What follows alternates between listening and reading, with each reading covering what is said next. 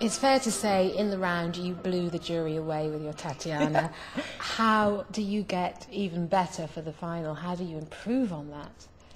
Um, I can understand uh, why it happened just because it was my native song. It was my um, it was Russian music uh, that I understand and um, understand very well.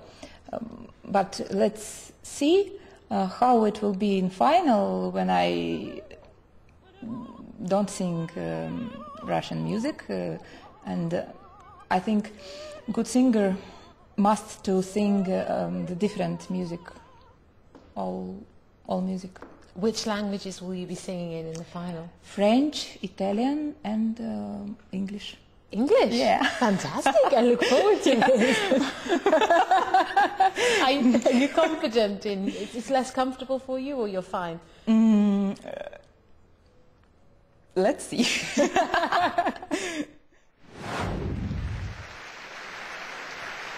let's see indeed. Our last contender in this final of BBC Cardiff Singer of the World 2009 is the 32-year-old soprano from Russia, Ekaterina Shcherbachenko.